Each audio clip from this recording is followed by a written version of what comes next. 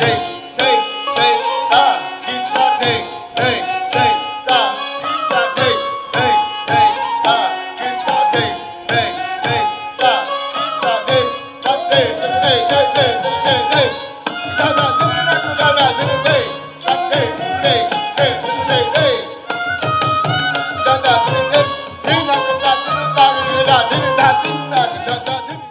ବହୁ ଦୀର୍ଘ ପ୍ରତୀକ୍ଷା ପରେ ଓଡ଼ିଶା ଟୁରିଜିମ୍ ଓଡ଼ିଶା ସଙ୍ଗୀତ ଏକାଡେମୀ ଆଜି ଆମକୁ ସୁଯୋଗ ଦେଇଥିଲେ।